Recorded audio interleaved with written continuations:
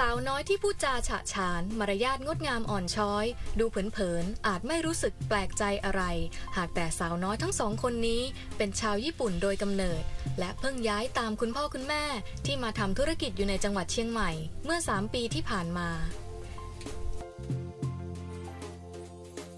ครั้งแรกที่มาเนี่ยคะก็สื่อสารกันไม่ค่อยรู้เรื่องทั้งครูทั้งนักเรียนเนาะครูก็ใช้ภาษามือ จะกินข้าวจะทำอะไรจะเขียนกระดาน ก็บอกให้เขาเขียนตามคุณครู เขาก็สื่อสารถามว่าสูตรดีไหมเขาก็ไม่ฟังไม่รู้เรื่องคุณเขาก็เอาสูตรของเพื่อนมาให้ดูว่า อย่างนี้นะลูกเขาก็เข้าใจคิเอะทานากะวัย 13 ปี และชิฮิโร่ทานากะวัย 11 ปี เข้ามาเรียนที่โรงเรียนบ้านโป่งน้อยวันแรกด้วยความประหม่าเพราะปัญหาทางการสื่อสารที่ไม่สามารถพูดคุยกับเพื่อนหรือคุณครูได้ คุณครูจึงใช้วิธีสื่อสารกับเด็กๆ ด้วยภาษามือ และเริ่มสอนภาษาไทยให้กับทั้งสองคน จนเด็กๆ สามารถสื่อสารและเข้าสังคมได้จอจานชอช้างต่อต่อตีโทรหดเหมือนมดเอ่ยมันยากแต่ว่าต้องคุยอะค่ะ เพราะว่าถ้าไม่คุยเดี๋ยวหนูกับหนูไม่มีเพื่อน นั่นหนูไม่ได้คุยกับเพื่อนค่ะ รู้สึกกังวลใจกลัวไม่มีเพื่อนค่ะ พยายามจะฝึก แต่ตอนนั้นยังไม่มีเพื่อนก็ไม่รู้จะทำยังไงค่ะ เมื่อภาษาไม่ใช่อุปสรรคในการสื่อสารอีกต่อไป สิ่งที่เธอสนใจจะเรียนรู้ต่อมา ก็คือศิลปะวัฒนธรรมไทย และมารยาทไทย เพราะเป็นสิ่งที่งดงาม และเป็นเอกลักษณ์ที่ชาติอื่นไม่มี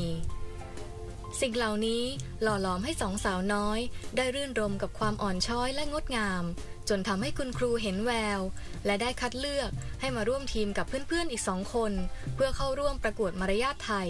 ในโครงการธนชาติริเริ่มเติมเต็มเอกลักษณ์ไทย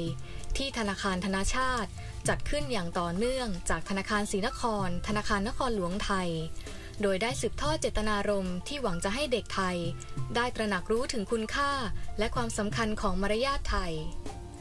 นี่ก็เป็นเวทีหนึ่งที่จะได้ให้น้องๆ สามารถที่จะมาแสดงออก ถึงสิ่งที่ได้เรียนรู้สิ่งที่ได้ฝึกฝนกันมานะครับพี่ไอพรน้องชนิตราน้องพี่เอกน้องชีโร่เรียนเชิญบนเวทีพร้อมท่านอาจารย์ที่ปรึกษาด้วยนะครับด้วยความชอบความเอาใจใส่และความพยายาม ทำให้ทีมโรงเรียนบ้านโป่งน้อย สามารถคว้ารางวัลชนะเลิศ การประกวดมารยาทไทย หลายรุ่น หลายระดับ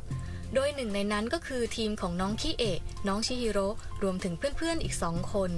เพื่อเข้าแข่งขันในรอบชิงชนะเลิศ ชิงถ้วยพระราชทาน สมเด็จพระเทพรัตนราชสุดา สยามบรมราชกุมารี และทุนการศึกษาที่กรุงเทพมหานครต่อไป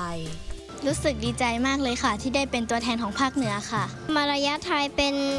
พฤติกรรมที่งดงามไม่ไม่อยู่ในประเทศญี่ปุ่นค่ะ หนูเลยสนใจค่ะ หนูเห็นคนไทยเขาไหว้กราบบ้าง ที่วัดที่ญี่ปุ่นนี้ไม่มีค่ะ เลยหนูก็สนใจ ตอนนี้โรงเรียนพยายามจะให้เขามันเป็นวิถีชีวิตจริง ๆ ทุกสัปดาห์เราจะให้คุณครูเราเนี่ยไปให้ความรู้นะครับ ไปเป็นตัวอย่าง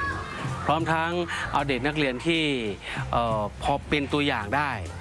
ไปเป็นพรีเซนเตอร์ให้กับทุกคน การหล่อหลอมความเป็นไทยให้กับเยาวชนรุ่นใหม่ ไม่ใช่เพียงหน้าที่ของใครคนใดคนหนึ่ง แต่คือการสำนึกรักในความเป็นไทย ที่ถูกแทรกซึมเข้าไปในการใช้ชีวิตประจำวันของคนไทยทุกคน ให้สามารถสืบทอด และส่งต่อคุณค่าของความเป็นไทยนี้ ให้เป็นเอกลักษณ์ที่คนไทยภูมิใจ และทุกชาติต่างเห็นแล้วชื่นชมช้า